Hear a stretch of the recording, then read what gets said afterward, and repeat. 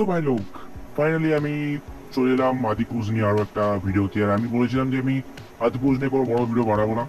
But আমাকে আমার কথাটা ভাঙতেই হলো, কারণ আমার ভেতর আদিপুজ নিয়ে যে ভরাসটা রয়েছে, সেটা আমাকে বার করতেই হতো। আমি এটা ভেতরে ফিল করছিলাম আদিপুজ নিয়ে, যেটা আজকের ভিডিওতে আমি বার করব। ভিডিওটা পুরোপুরি শেষ অব্দি দেখবে, কারণ বিনোদিত। যাই হোক আদিপুজের পথে আসা যাক। সো আদিপুজ মুভিটা একটা মাস্টারপিস ইয়েস অ্যান্ড দ্য তিনটে পয়েন্ট বলব যেটা আদিপুর সেই কারণের জন্য মাস্টারপিস মুভি হতে হতে হয়। হ্যাঁ আমি জানি মুভিতে অনেকগুলো রিজন আছে যেটার জন্য এই আদিপুর মুভিটা একটা মাস্টারপিস মুভি বাট আমি আমার তরফ থেকে এমন তিনটে পয়েন্টে কথা বলতে চলেছি যেটা এই মুভিতে থাকলে এক্সিস্ট করতো যদি, তাহলে এই মুভিটা একটা অল টাইম মাস্টারপিস হয়ে যেত।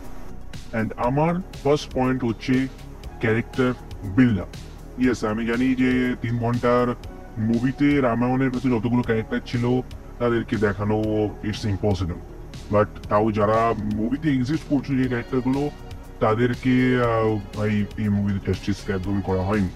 কারণ তারা প্রথম কথা তাদের কাস্টিং খুবই খারাপ ছিল। মানে প্রভাস অ্যাজ শ্রীরাম তো একেবারে ভাবাই যায় না। বাট তারপরেও কাস্টিং খারাপ হওয়ার পরও এমন অনেক জিনিস থাকে যেগুলো দেখালে ক্যারেক্টার অন্তত একটা হালকা ফুলকা বিল্ড আপ হয়। বাট সেটাও এই মুভির মধ্যে মিসিং ছিল। সো যেসব ক্যারেক্টারগুলো এই মুভির মধ্যে এক্সিস্ট করছিল, সেসব ক্যারেক্টারগুলোকেও মুভির ভেতর ইম্পর্টেন্স দেওয়া হয়নি।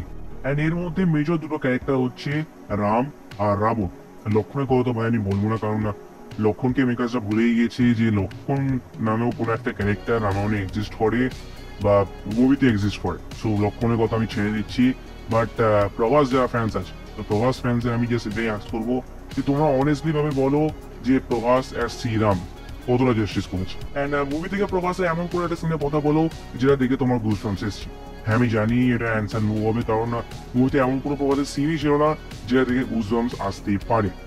সো আমি এটাই বলব যে ট্রিপল আর রামচরণের যে দশ মিনিটের রোলটা ছিল রাম শ্রীরামের ক্যারেক্টার দশ না পনেরো মিনিটের সেই রোলটা এখানে তিন ঘন্টায় আদি পৌঁছে প্রভাসের শ্রীরামের ক্যারেক্টারের ওপর পুরোপুরি জল ঢেলে নিয়েছে। মানে পুরোপুরি হেভি ছিল। ওই দশ মিনিটের রোলটা এখানে প্রভাসের তিন ঘণ্টার রোলটার ওপর। অ্যান্ড প্রভাস যেভাবে নিজের ক্যারেক্টারটা মানে শ্রীরামের ক্যারেক্টারটা এই মুভির উপর প্লে করেছেন, সেটা থেকে বোঝাই যাচ্ছে যে প্রভাসের কোনো ইম্পর্টেন্সই ছিল না এই ক্যারেক্টারের উপর। মানে প্রভাস যেন একটা নর্মাল ক্যারেক্টার প্লে করছে এমন ভাবে এই মুভিতে সিনেমার ক্যারেক্টারটা প্রভাস প্লে করেছে। আর এইবার আসি রাবণের কথায়। মানে সাইফ আলী খানের অ্যাক্টিংটা তাও একটু দেখার মতো শুনে মুভির ভেতর বাট যেটা আমি আগে বললাম যে, এমন কিছু কিছু জিনিস লাগে একটা ক্যারেক্টার বিল্ড আপ করার জন্য। আর সেই ছোট ছোট জিনিসগুলো এই মুভির মধ্যে মেকার্সরা অ্যাড করতে পারেনি। যেমন সাইফ খানের হাঁটা স্টাইল মানে কি ধরনের হাঁটা স্টাইল এরকম করে এটা কি মানে কি হাঁটা স্টাইলটার মানেটা কি হয়? আমি জানি এখানে সাইব আলী অনেকটা লম্বা দেখানো হয়েছে অনেকটা বড় দেখানো হয়েছে বাট এরকম হাঁটার স্টাইলের পিছনে কোনো কারণ তো আমি দেখতে পেলাম। অ্যান্ড সেকেন্ড হচ্ছে আমাদের ড্রেস মানে রাবণের যে ড্রেস মানে এটা ফালতু ব্ল্যাক কালারের ড্রেস পরে পুরো মুভি কাটিয়ে দিল সাইব আলী খান সে রাজা, সে মিনিটে মিনিটে নিজের ড্রেস চেঞ্জ করতে পারে। আর থার্ড হচ্ছে রাবণের লঙ্কা।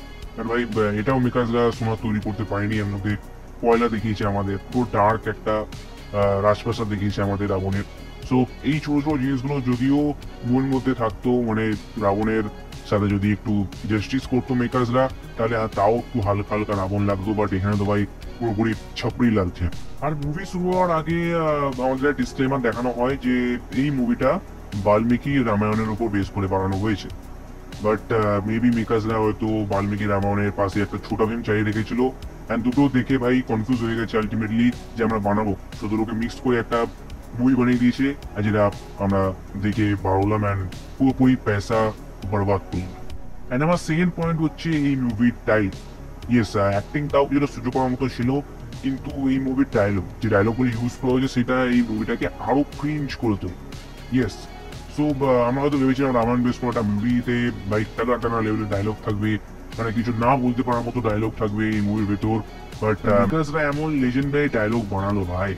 পুরোপুরি জন্ম জন্মান্তর মনে রেখে দেবে যারা যারা এই আদি বুঝ মুভিটা দেখে ইয়েস কারণ মুভির ভেতর জালি না তেরে বাপ কা লঙ্কা, তেরে বাপ কা তিল মানে এই রকম লেভেলের ডায়লগ যদি কোনো আলাদা মুভি হতো নর্মাল একটা মুভি হতো, তাহলে আমি মাইন্ড করতাম।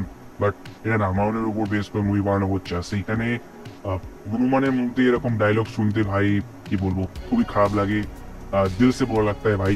আর থার্ড পয়েন্ট হচ্ছে এই মুভির ভিএফএক্স মানে মুভির ভিএফএক্স আর সিজিআই ভাই পুরোপুরি ওয়াইয়াত বকওয়াস লেভেলের ছিল।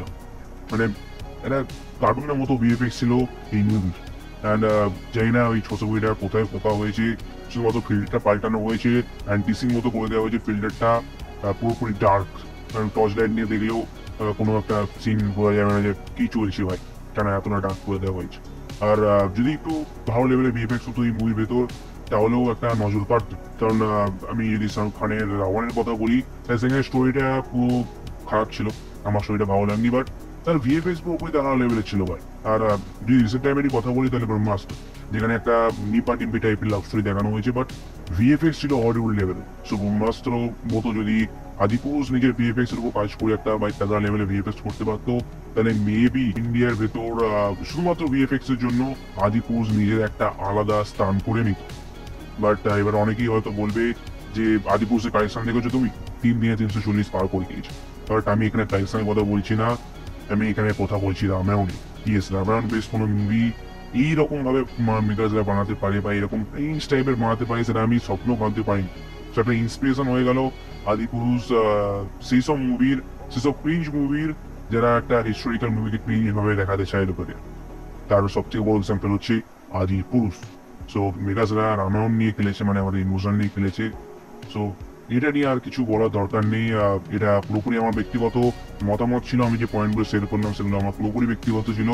তো আমার সাথে কেউ অ্যাগ্রি করতেও পারে, নাও করতে পারে, সেটা তোমাদের ব্যাপার। বাট আমার এই রিভিউটা ভালো লেগে থাকলে অফকোর্স লাইক করে দিও। আর কমেন্ট করে জানিও যে তোমার তুমিও কি আমার সাথে একমত বা তোমার কোন পয়েন্টটা মনে হয়েছে যে ইয়েস এটা এটা ইম্পর্টেন্ট পয়েন্ট যদি এটা থাকতো তাহলে মুভিটা কিছু একটা আলাদা ধরনের কিছু করতে পারতো। হোক আমার ভিডিওটা ভালো লাইক করে দিও চ্যানেল চ্যানেলটি সাবস্ক্রাইব করে দিও দেখা হচ্ছে ভিডিওতে টেক কেয়ার গুড বাই